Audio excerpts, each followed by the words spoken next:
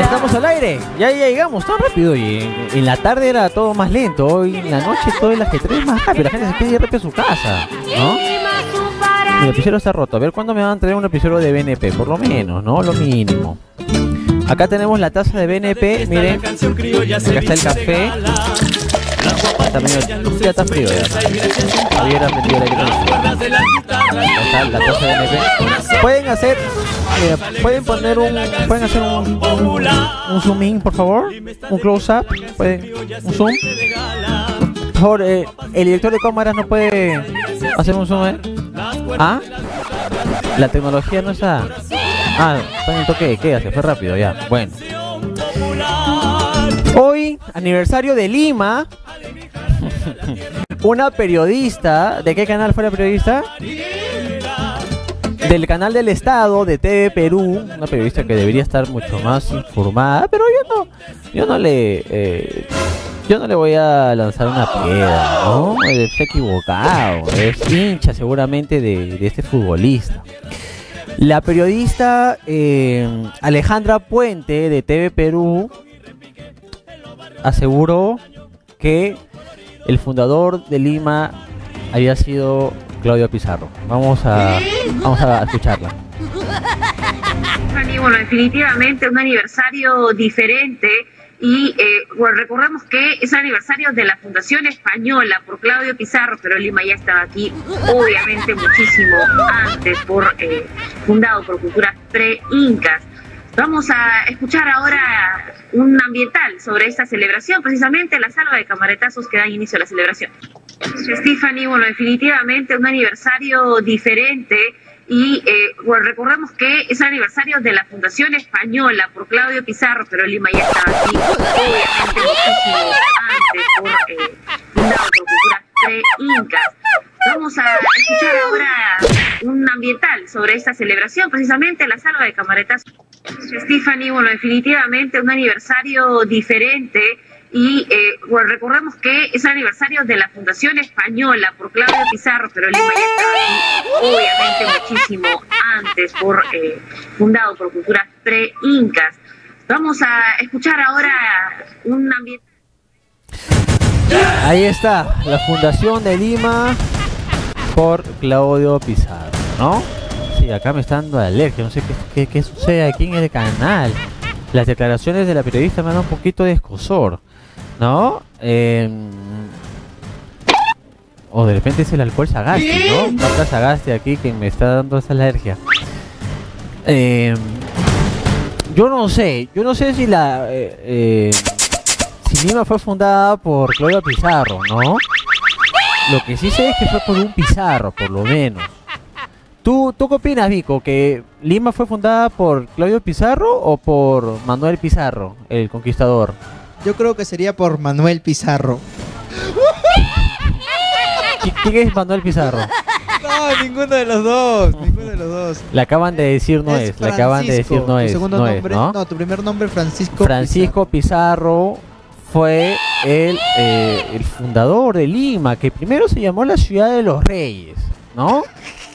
Después, eh, por, un tema de costumbre, de que siempre... eh, eh, eh, algunos dicen que por el río Rímac, de ahí fue mutando el nombre. La, la situación es que se cambió el nombre y ya no fue la ciudad de los reyes, sino Lima, ¿no? Si no hubiera quedado como la ciudad de los reyes, como primera opción, ¿eh? Así como cuando tú, cuando eh, eh, el jurado te dice ingresa para colocar tus tres opciones para ir a votar, ya, igualito, ¿no? Le pusieron unas opciones ahí para ver cuál salía, ¿no? Salía la ciudad de los reyes, la ciudad de los reyes, sí, cinco. Claro. Cuando te preguntaban a dónde vas a votar, en la ciudad de los reyes. No, pero está bonito, se, se escucha elegante, ¿no? La ciudad de los reyes. ¿Eres rey? No, no soy rey, ¿no? Somos reyes, y cómo nos hubiéramos... ¿Cuál hubiera sido el gentilicio? Los reyes, ¿no? O, o los, los ciudadanos los ciudadanos reyes. ¿Ves? Iba a ser, iba a ser elegante, iba a ser bonito, ¿no? Bueno, ¿qué pasa con Lima? Hoy Lima está peor que nunca. Ya pasaron algo de 65 años desde que Sebastián Salazar Bondi escribió eh, este ensayo magnífico, prolífico, muy, muy visionario, Lima la horrible, ya que lo escribió en el año 60, en, el año, en, la década, hace unas décadas atrás, ¿no?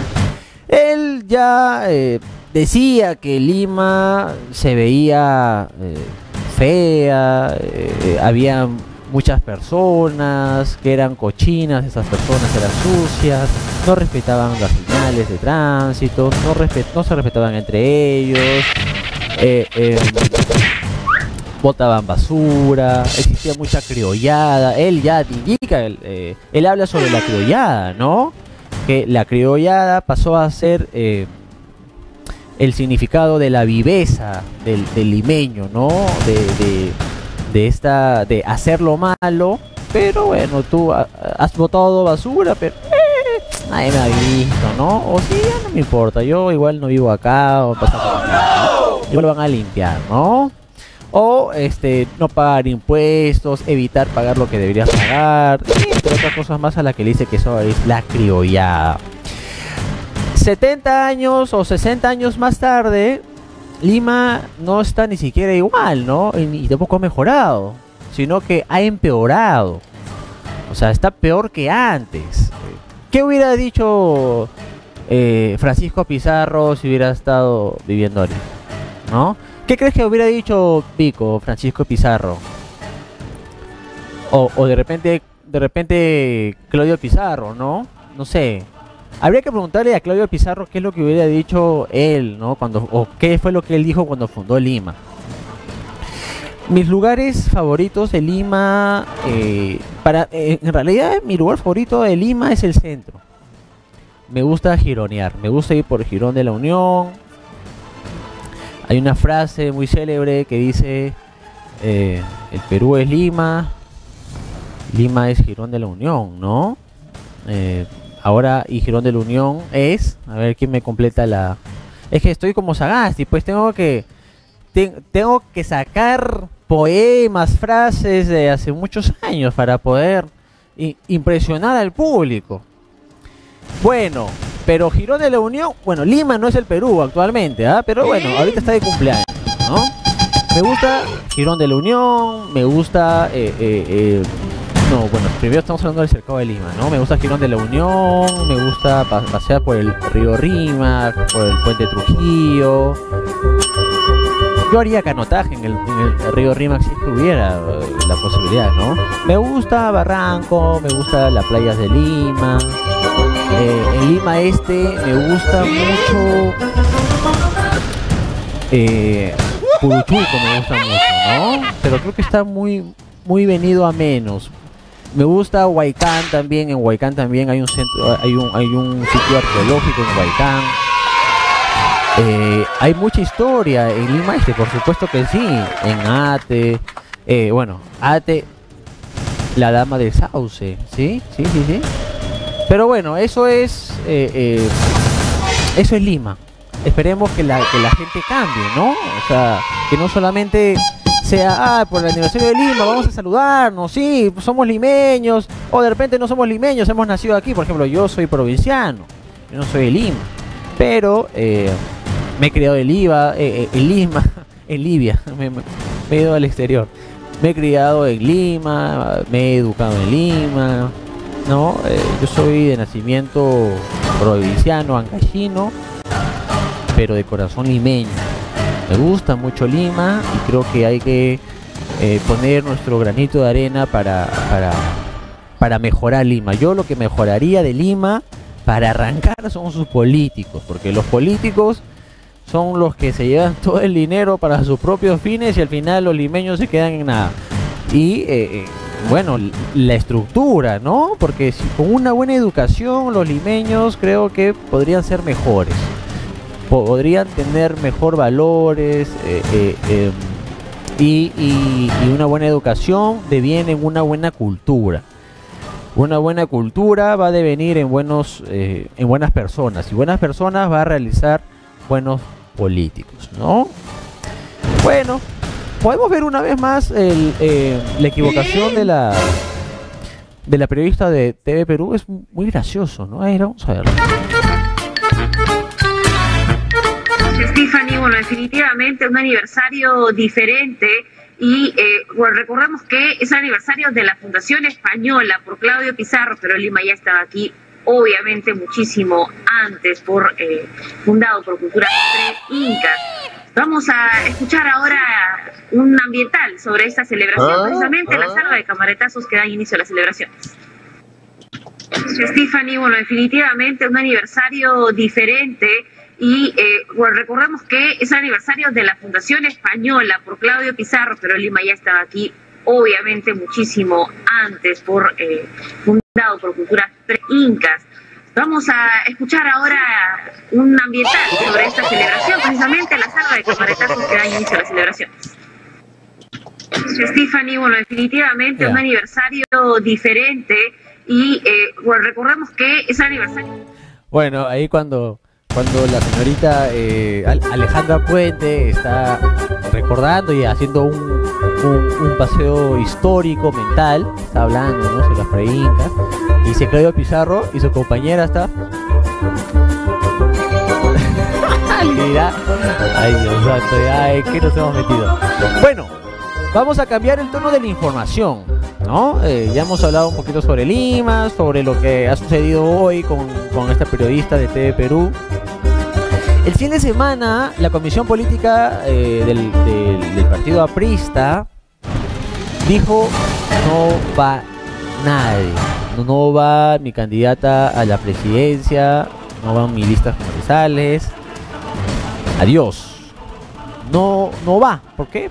Bueno, no va, tendrán sus eh, eh, eh, sus motivos, ¿no? ¿Cuáles habrán sido esos motivos? Eso es lo que vamos a conocer poquito más a profundidad. Vamos a conversar en breve con eh, Mauricio Mulder, ¿no? ¿Qué, sucedió? Eh, Vilches, quien ha sido ministra también, eh, ha sido ex, ex ministra, militante aprista, eh, y también le dieron ganas de ser congresista, ¿no? Quiso postular, ahora está postulando a- a- al Ejecutivo, a la, pero no pudo no pudo ganar, postuló el año pasado, ¿no? Y, y no, no pudo obtener una, una curul porque no entró nadie del partido aprista. Eh, ella encabezaba esta fórmula presidencial, ¿no? Pero bueno, la Comisión Política del APRA dijo no, no, no va más la carrera electoral del APRA en este, eh, en esta contienda de 2021, ¿no? Eh, esto fue confirmado por la propia ex ministra, quien se mostró en contra de la decisión. Ella dijo que, eh, literalmente dijo, nos duele profundamente lo que vive el partido, principalmente por lo que fueron a sufragar a nivel nacional, por supuesto, no todas las personas, los apristas fueron a votar, se, dieron su tiempo, eh, gastaron su pasaje, tenían expectativas, quién iba, quién no iba, al final se logró esta, eh, se logró ganar esta contienda interna del partido político. Y ahora el presidente de la comisión política, quien es el señor Mauricio Mulder, junto al secretario general institucional, eh, el señor Rodríguez, señalaron que esta decisión fue tomada con la con la anuencia de Vilches, ¿no? Eh, Mulder dijo que si lanzaban la candidatura presidencial sin lista presidencial, el partido de todas maneras iba, iba a perder. De todas maneras iba a perder. Y por eso que, eh, con el añadido de que iba a tener una pequeña votación, ¿no? Ya casi moribunda votación. Y que estos son los argumentos eh, para, para que se pueda hacer el motivo, ¿no? Y que esto fue el, la aprobación de Nidia Vilches. Ahora vamos a ver qué es lo que sucede, ¿no? Y bueno, eh, ya tenemos en línea al presidente de la Comisión Política del Partido Aprista, el eh, señor Mauricio Mulder. Bienvenido, señor Mulder. Muy buenas noches, muchas gracias por esta oportunidad. Muy buenas noches, señor Mulder. Esto es lo bueno, lo positivo de, de- del internet, ¿no? Usted está ahí en su cama, en su casa, en su sofá, tranquilo. Nosotros también deberíamos estar en nuestras casas, ¿no? Cuidándonos, pero bueno, productora me obliga aquí a venir. Pero por lo menos tenemos Bueno, salvoconducto o no tenemos Hay que, salvoconducto. exigirle, hay que exigirle a su productora que se ponga de acuerdo con los tiempos, no solo por la pandemia, sino porque la revolución digital es imparable. ¿Estás escuchando no? productora? bueno, mi productora le manda muchos saludos, señor Mulder. Igualmente. Eh, se decidió que ya no va, ya no va más eh, ninguna lista congresal ni, ni tampoco la, la- la fórmula presidencial.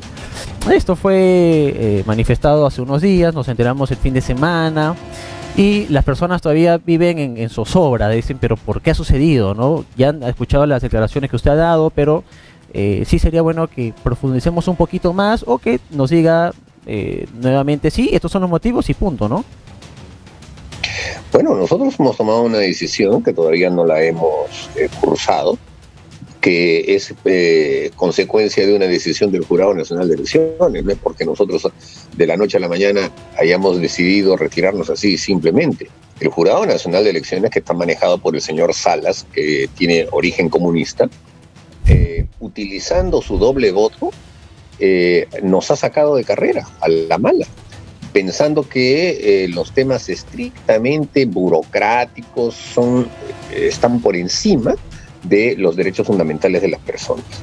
Para ese señor, que es juez supremo, ojalá no le deseo a nadie que caiga bajo su jurisdicción, porque ese señor es capaz de llevar a una persona a 30 años de prisión si es que su DNI este, le falta un número o se le perdió, porque para él lo, lo que es la parte papeluchera del, trámite burocrático es más importante que los temas de fondo. Eso es lo que ha ocurrido.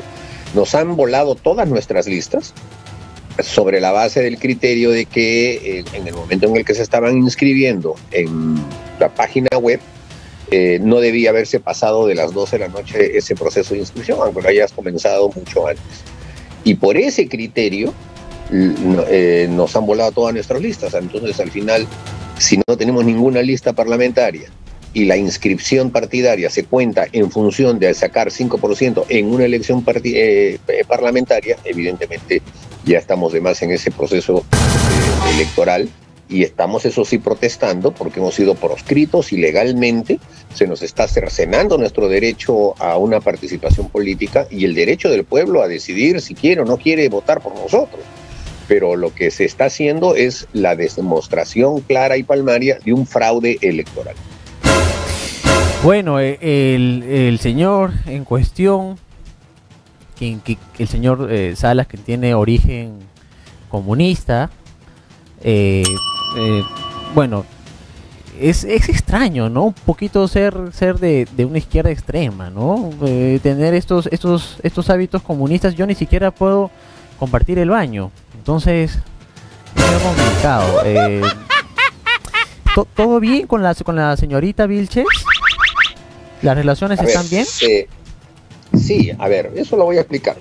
Pero eh, lo que hay que dejar en claro es que eh, hay en nuestro país, desde las épocas del señor Ollanta Humala, ya comenzó un poco con Toledo, pero con Ollanta Humala se consolidó, una casta, una argolla, una oligarquía que controla todo.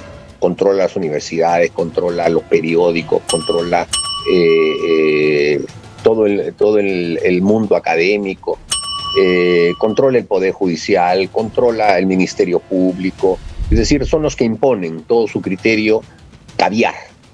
Y bueno, lo que ha ocurrido es que en el Poder Judicial también pasó lo mismo. Y entonces el Poder Judicial, la sala plena de vocales supremos, determinó que el señor Salas fuese presidente del Jurado Nacional de Elecciones, a sabiendas de sus antecedentes políticos. Es decir, esta ha sido una decisión tomada por este grupo, que controla todo y que eh, de esta manera está controlando el proceso electoral. Y por supuesto, lo primero que hacen es sacar a Lapra por quítame estas pajas para que nosotros no seamos eh, molestosos con nuestros discursos que siempre son eh, contra ellos. Así que eso es lo que realmente ha pasado. Ahora, eh, efectivamente ha habido una, diríamos, eh, un radio malogrado, ¿no? Eh, porque tomamos esta decisión con presencia de Nidia Vilches y ella al día siguiente sale a decir que se había opuesto, cosa que no es cierta. Creo que lo que ella buscó era dar una especie de toque retórico a su salida, diciendo que no estaba de acuerdo con lo que había pasado, es decir, que, que no estaba de acuerdo con que hubiéramos tenido que llegar a esa situación porque no se pudo inscribir. Me parece que eso es lo que ella quiso decir. Después hemos hablado, algo así me lo he explicado y, y bueno, eh, ella misma señaló de que era imposible continuar siendo candidata presidencial sin lista parlamentaria. Eso iba a ser eh, bastante complicado, ¿no? Bueno, eh, pero eh, dicho todo esto, la relación con la señora Vilches está, está bien. ¿O es que todavía no sé cómo? cualquiera no hablan por WhatsApp, ¿no? la decisión de que vamos a iniciar un proceso de eh, eh, re- eh, de reconstrucción Ya. y de fortalecimiento nuevo del partido mediante el proceso de reinscripción. Y para eso estamos convocando absolutamente a todos los apristas. No tenemos discrepancia ya ninguna que sea importante entre todos los apristas y salvo el hecho de que vamos a caminar por un solo rumbo, que es el de la reinscripción partidaria. Ahora todos los apristas tienen que abocarse a ese proceso. El que no quiera, tiene las puertas abiertas. Pero estoy seguro que mientras todos quieran, lo haremos en un ambiente de unidad absoluta, entre, los cuales se encuentra sin duda alguna la presencia también eh, de Nidia Vilches. ¿Lo veremos a usted nuevamente en el Congreso, señor Mulder? Yo no puedo ser candidato hasta el año 26, por obra y gracia del ladrón, del corrupto del señor Vizcarra, que eh, impuso ese criterio eh, frente a, eh, a un referéndum demagógico por el cual se le llevó a la gente a votar alegre y feliz este, para que no hubiera reelección parlamentaria. Y ahora la, esa misma gente se queja del actual Congreso, que es un Congreso de gente que tampoco se va a poder reelegir y cada eh, eh, periodo vamos a tener gente que se va a improvisar en el trabajo congresal y va a empeorar las cosas. Pero eso es lo que se ha decidido porque eh, gran parte del país, sobre todo por el apoyo de los medios de comunicación, se dejó llevar por la demagogia de Martín Vizcarra, que estaba armando su golpe de Estado, y ahora la paradoja está en que los parlamentarios que hemos estado muchos años en el Parlamento ya no podemos estar, y sin embargo él ahora quiere ser parlamentario, pero por, él quiere ser parlamentario no para hacer algo por el Perú, sino para blindarse con la inmunidad parlamentaria de los casos de corrupción que tiene que enfrentar. Eso lo tenemos claro. ¿Qué, ¿Qué sucedería si el señor Johnny Lescano llega a la presidencia y lo llama para ser su ministro? ¿Usted aceptaría?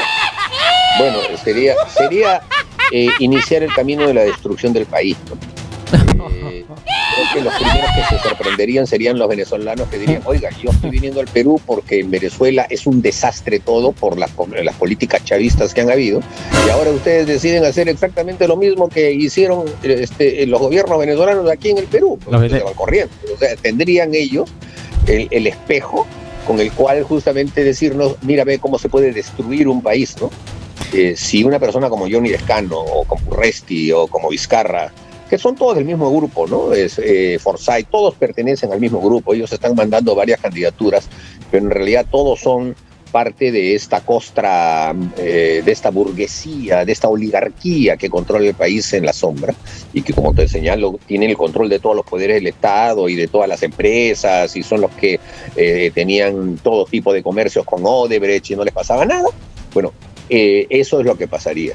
Porque toda esta gente lo que está pregonando es simplemente es llegar al poder para apoderarse de ese poder, enriquecerse con el mismo y aplastar la democracia peruana. Lo de siempre, lo de siempre lamentablemente.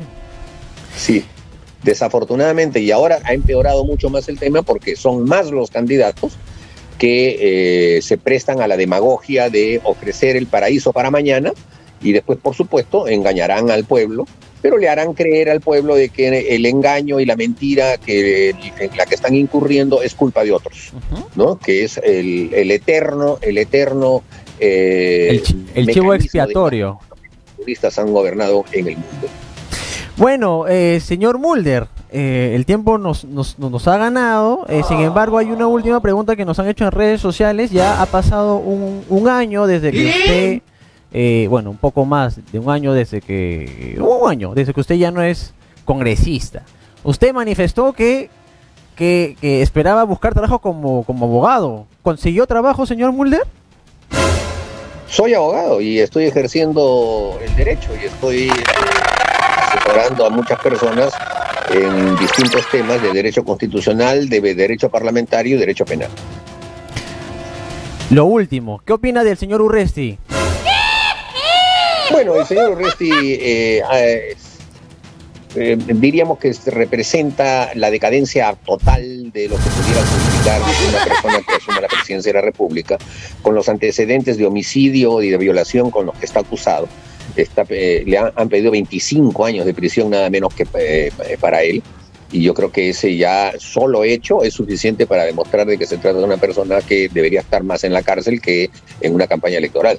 Así que con ese tipo de personas realmente en el proceso electoral eh, esto eh, está muy deteriorado y demuestra cómo la, la, política peruana ha caído a niveles realmente eh, muy alarmantes. ¿no? Y si tendría que salvar de un incendio feroz a, y está Urresti Lescano, ¿qué hacemos? Yo me doy vuelta y sigo mirando para otro lado. Excelente. Muchísimas gracias, señor Mauricio Mulder. Le deseamos lo mejor de lo mejor y que su trabajo sea próspero para que nunca le falte trabajo, señor Mulder. Muchas gracias. No cometan delitos porque si no me van a tener que llamar. que le vaya bien. Muchas gracias. Bueno, ha sido el ex congresista Mauricio Mulder, presidente de la Comisión Política de eh, el APRA, ¿no? Vamos a ver los resultados el, eh, de a favor y en contra. A ver, vamos a, a verlo en pantalla. ¿Sí? Ah, entonces me lo vas a en la pantalla de los celulares. Las personas están a favor o en contra de la gestión del presidente Francisco Sagasti. Bueno, eh, ha sido muy ni siquiera ha sido reñido, ¿no, Tali? 100% en contra de la gestión. ¿Sabes qué? Sería bueno igual este ponernos a, la a la tendencia, Talía, ¿no? Hay que un poquito agilizar el tema y hacerlo todo virtual. Aquí debería aparecer así a lo Bruno Pinar con una ventanita, hago así, bajo, subo, bajo, subo, ¿no? Un saludo para nuestro gerente general, Ananías Camilo. Lo extrañamos acá. Eh, pero bueno, esa ha sido la, eh, la votación final, ¿no? El 100% de las personas que han participado en las redes sociales han dicho, en el Instagram de BNP, han dicho que no respaldan la gestión del presidente Francisco eh. Vamos a darles el ostrafono que mañana lo vamos a implementar. Mañana van a poder llamar, eh, van a poder rajar, decir, decirlo así, o sea, libremente, sin pelos en la lengua. Van así como el señor Muller, claro ejemplo, sin pelos en la lengua. Acá le deseamos lo mejor a todos y también todos pueden eh, decir, es una vitrina, ¿no? Todo lo que ustedes piensan. Gente de Lima Este, Ate, Chaclacayo, Chosica, Santa Anita, El Agustino, Santa Eulalia, Jicamarca. En pantallas va a aparecer el ostrafono. 981-469-405. Y si ese está ocupado o no tiene batería o no le contestan, puede llamar al 981-434-723. Ahí está el ostrafono. Y no se olviden del yo informo que mañana podrán ver nuevamente la canción. Porque ahorita ya es muy tarde y ya nos tenemos que ir a la casa, si no, la policía no nos va a creer que estamos trabajando en el periodismo. Bueno, eso ha sido todo por hoy. Mi nombre es Javier Merino y mañana eh, los esperamos acá en un nuevo programa de Tal Ostra. Muchas gracias. Chao.